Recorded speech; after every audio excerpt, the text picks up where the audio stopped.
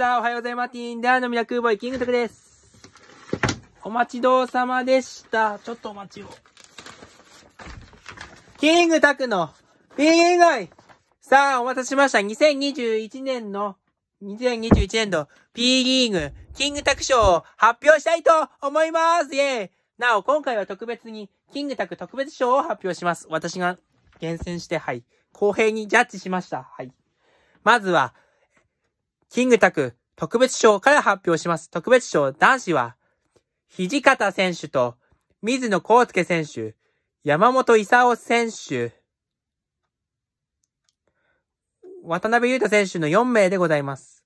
土方選手は確かにルーキーイヤー本当に活躍してましたね。はい。優勝こそなかったが、水野選手は愛嬌ボーイとして新人戦、あとその他諸々、二つのタイトルを獲得した選手でもございます、今季。はい。山本勲さんも最後の最後頑張りましたね。全日本選手権。はい。渡辺裕也選手もタイトル獲得しました。女子はまあ、坂本香也選手、えー、っと、川崎優衣選手、えー、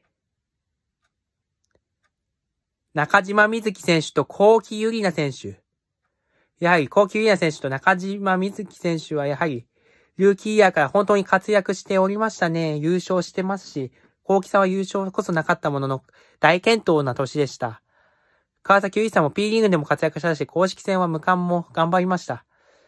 えー、坂本香也選手もまあ優勝もまあ次世代のエースとして本当にすごいですね。はい。では、お待たせしました。キングタク賞を発表したいと思います。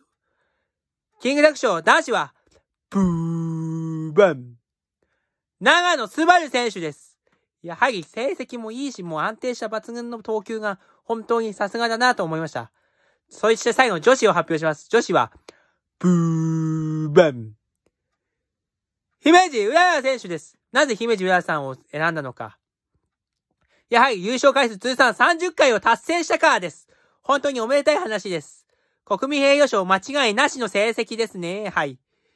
永久シード後ももう活躍してましたし、本当に姫路浦さん独占、ほぼ独占と言っていいでしょう。はい。文句なしの成績です。というわけで以上です。バイバイ。